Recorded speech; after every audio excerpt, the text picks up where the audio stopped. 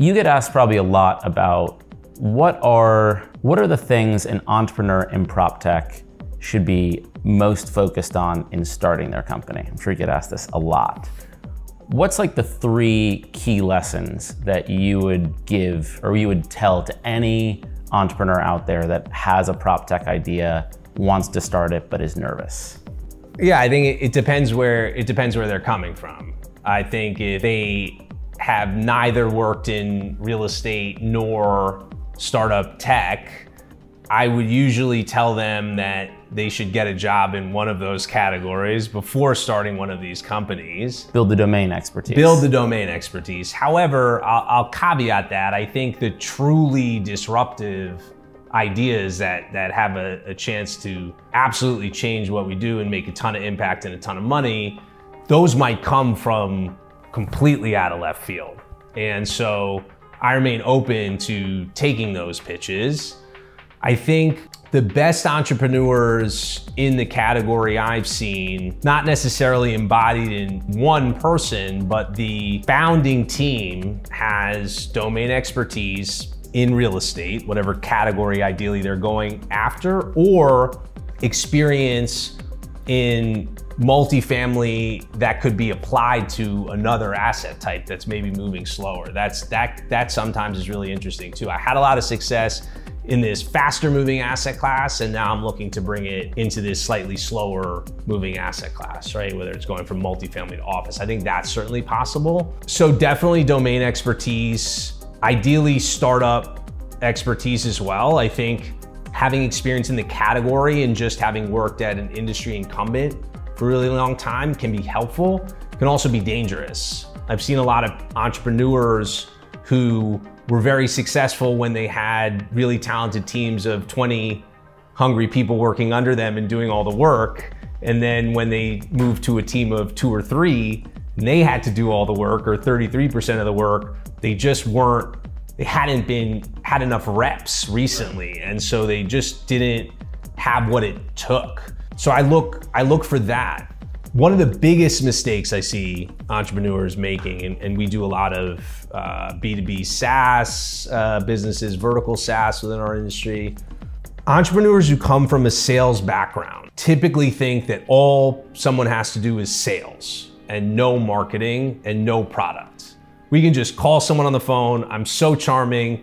I'll close the deal even if my product's not very good, doesn't work very well, doesn't create efficiency. And then a lot of entrepreneurs come from marketing and think they can just excel at branding and marketing and their product will go viral like Instagram. But B2B SaaS in prop tech doesn't go viral. You still have to call someone on the phone. So what I what we've learned is is is viewing sales, marketing, and product like they're dials on a guitar amplifier. And they're not all gonna be at 10 for every company, especially when they're starting out.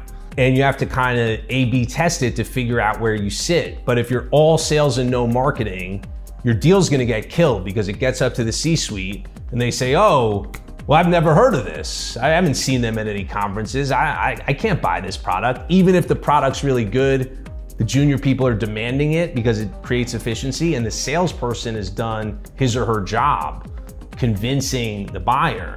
Those deals get killed. The companies that are all marketing, those get killed too before they even start because everyone's sitting around waiting for this moment when the product's gonna go viral. And when it doesn't, they have no idea how to build and scale a sales organization. And so those are really key things. I've seen that mistake made a lot. So we we're looking quite a bit for that. Like what's your what's your percentage? Are you 80% marketing, 20% sales? You 80% sales, 20% marketing?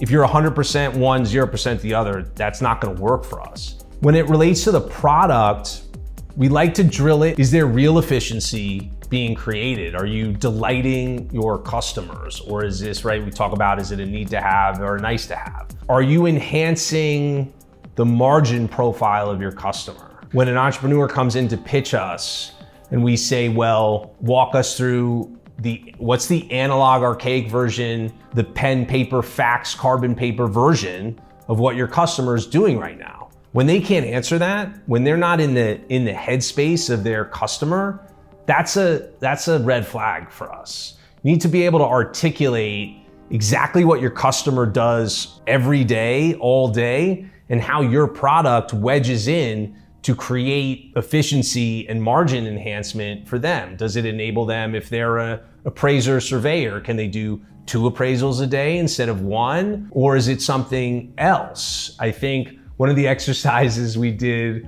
still doing the accelerator, which always gets a laugh, but is tends to be enlightening for the entrepreneurs and us, So we have them write comic books about their customer. And it's like a day in the life of Zach. Zach is a loan officer at this bank. What does he do now during the day? And now write the comic book for what he could be doing if he was using your technology product. And if somebody can't do that, they don't understand their customer well enough and they don't understand their products well enough. So that's something we definitely look for a lot on the on the, on the product side.